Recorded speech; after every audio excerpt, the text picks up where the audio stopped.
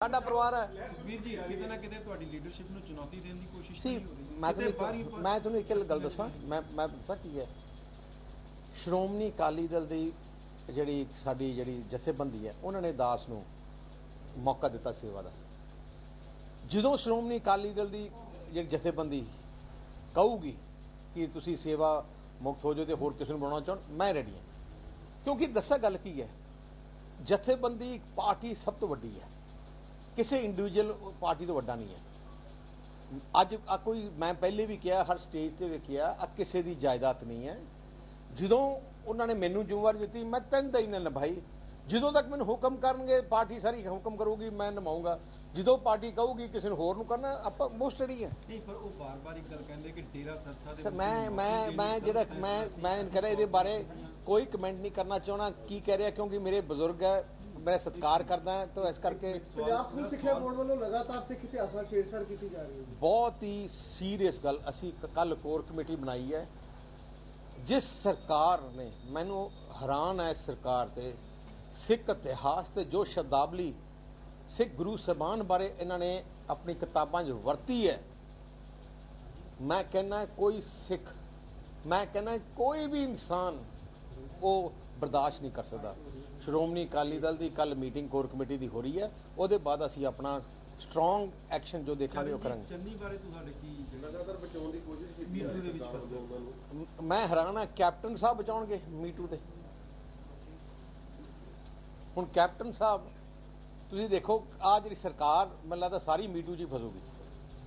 ਤੇ ਮੈਨੂੰ ਦੁੱਖ ਹੈ ਕਿ ਇੱਕ- ਇੱਕ ਮਿਨਿਸਟਰ ਇੱਕ ਇਨਵੋਲਵ ਹੋਏ ਉਹ ਵੀ ਇੱਕ ਆਈਐਸ ਆਫੀਸਰ ਦੇ ਨੇ ਸ਼ਿਕਾਇਤ ਕੀਤੀ ਹੈ। ਐਂਡ ਚੀਫ ਮਿਨਿਸਟਰ ਉਹਨੂੰ ਪ੍ਰੋਟੈਕਟ ਕਰਨ ਤੇ ਲੱਗਿਆ। ਕਹਿੰਦਾ ਕੋਈ ਗੱਲ ਨਹੀਂ ਮੈਂ ਕਿਹਾ ਮਾਫੀ ਮੰਗ ਲਓ। ਆਸ਼ਾ ਕੁਮਾਰੀ ਨੇ ਕਿਹਾ ਜੀ ਕਿ ਮੈਸੇਜ ਕਰਨਾ ਕੋਈ ਬੁਰੀ ਗੱਲ ਮੈਂ- ਨਹੀਂ ਮੈਂ ਉਹਨਾਂ ਦੀ ਜਿਹੜੀ ਕਾਂਗਰਸ ਦੀ ਨੀਤੀ ਸੋਚ ਰਿਹਾ।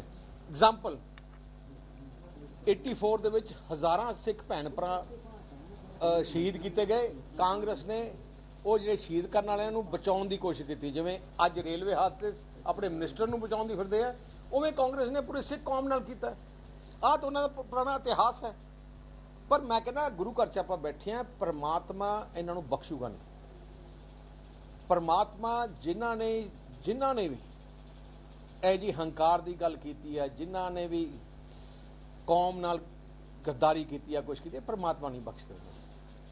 ਮੀਟੂ ਬਾਰੇ ਥੋੜਾ ਜਿਹਾ ਦੱਸੋ ਚੰਨੀ ਚੰਨੀ ਰੇਲਵੇ ਦਾ ਜੋ ਕੇਂਦਰ ਸਰਕਾਰ ਨੇ ਜੋ ਜਾਂਚ ਰੇਲਵੇ ਦੀ ਸ਼ੁਰੂ ਕੀਤੀ ਹੈ ਤੁਸੀਂ ਸਰਕਾਰ ਤੇ ਭਾਈ ਪਾਲੋ ਇਹ ਇਹ ਕਿੰਨੀ ਤੇਜ਼ੀ ਨਾਲ ਹੋਏਗੀ ਜਾਂ ਮੈਂ- ਕਿਉਂਕਿ ਮੈਂ ਕਿਉਂ- ਨਵਜੋਤ ਸਿੰਘ ਯਾਰ, ਲਗਾਤਾਰ ਇਹ ਕਹਿ ਰਹੇ ਨੇ ਮੇਰੀ- ਕਿ ਰੇਲਵੇ ਦਾ ਕਸੂਰ ਹੈ। ਨਹੀਂ, ਮੇਰੀ ਗੱਲ ਸੁਣੋ। ਤੁਸੀਂ ਇਹ ਫੰਕਸ਼ਨ ਕਰੋ ਆਪ ਫੰਕਸ਼ਨ ਕਰੋ ਲੋਕੀ ਸ਼ਹੀਦ ਹੋ ਜਾਣ। ਇਹਦਾ ਮਤਲਬ ਹੈ ਰੋਡ ਹਾਦਸੇ ਤੇ ਨਵਜੋਤ ਸਿੱਧੂ ਕਾਰ ਤੇ ਜਾਂਦਾ ਹੋਏ ਇੱਥੇ ਲੁਧਿਆਣੇ। ਆਪਣੀ ਕਾਰ ਨਾਲ ਦੋ ਚੰਦੇ ਬੰਦੇ ਮਾਰਦੇ।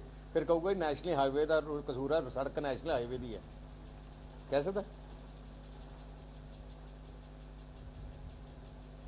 ਬਰਗਾੜੀ ਸਾਹਿਬ, ਸਿਲੇਬਸ ਨਾਲ ਛੇੜਛਾੜ 6 ਮਹੀਨੇ ਚ ਲਗਾਤਾਰ ਦੂਸਰੀ ਵਾਰੀ ਮਾਮਲਾ ਸਾਹਮਣੇ ਆਇਆ ਅਸੀਂ ਪਹਿਲੇ ਇਹਨਾਂ ਨੂੰ ਵਾਰਨਿੰਗ ਦਿੱਤੀ ਸੀ।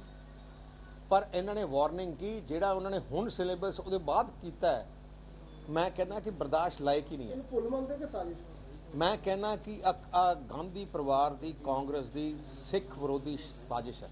ਤੁਸੀਂ ਦੇਖੋ ਜਿਹੜੀ ਕਾਂਗਰਸ ਪਾਰਟੀ ਨੇ ਹਜ਼ਾਰਾਂ ਭੈਣ ਭਰਾਵਾਂ ਦਾ ਕਤਲੇਆਮ ਕੀਤਾ ਜੋ ਸ਼ਬਦਾਵਲੀ ਵਰਤੀ ਹੈ ਗੁਰੂ ਸਾਹਿਬਾਨ ਬਾਰੇ ਕੌਣ ਇਨਸਾਨ ਜਿਹਦਾ ਦਿਮਾਗ ਹੋਊਗਾ ਸੋਚ ਸਕਦਾ ਉਸ ਸ਼ਬਦਾਵਲੀ ਬਾਰੇ? ਤੇ ਕੀ ਕੌਣ ਬਰਦਾਸ਼ਤ ਕਰ ਸਕਦਾ? ਇਹਦੇ ਚ ਇਹਦਾ ਮਤਲਬ ਆ ਸਰਕਾਰ ਕਿਸ ਵਾਸਤੇ ਬੈਠੀ ਹੈ? ਅਸੀਂ ਇਹਨੂੰ ਪਹਿਲੇ ਵਾਰਨਿੰਗ ਕੀਤੀ ਸੀ।